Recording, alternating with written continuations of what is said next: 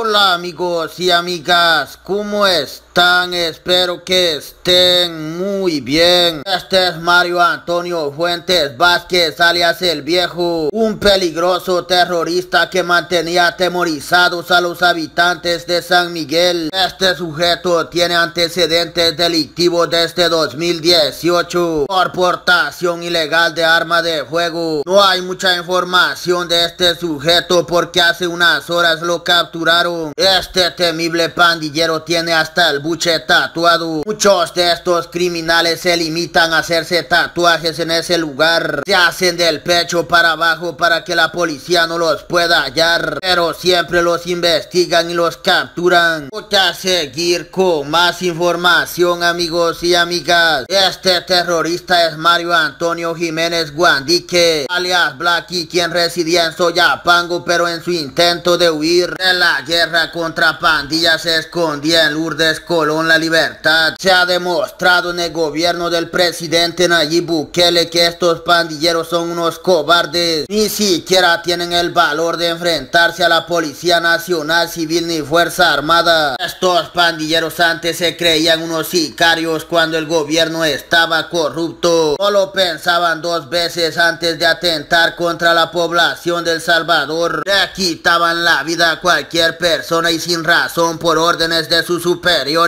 Los areneros se estaban hasta robando el dinero de la seguridad. Voy a seguir con más información. Capturan pandillero que disparó contra agentes policiales en Atacu. La Policía Nacional Civil informó de la captura del pandillero Juan Francisco Martínez, alias Cuervo Negro, quien atacó con una escopeta semiautomática a agentes policiales, pero terminó rindiéndose al verse superado la detención.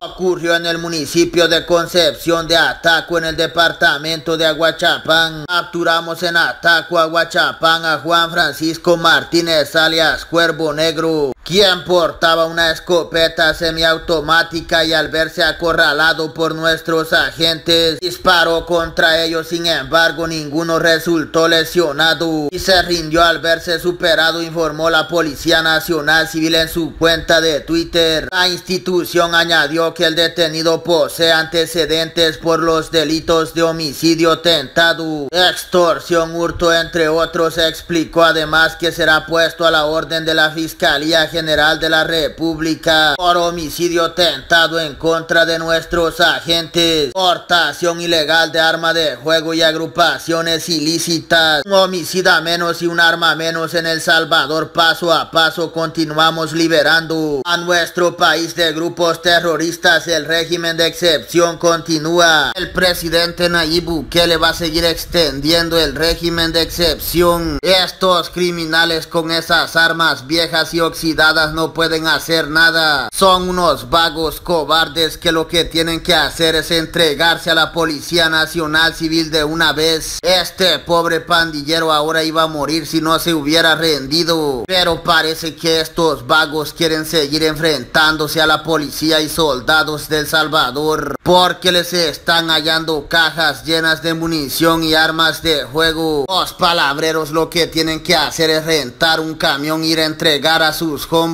Estos pandilleros que dan órdenes a los pandilleros de matar tienen que ser responsables. Y entregarle todos estos homicidas a Osiris Luna Mesa. A ver cómo los acomodan en los penales del Salvador que son bien grandes y están rebalsando. Hasta aquí la información, gracias por ver mi video, por favor denle me gusta.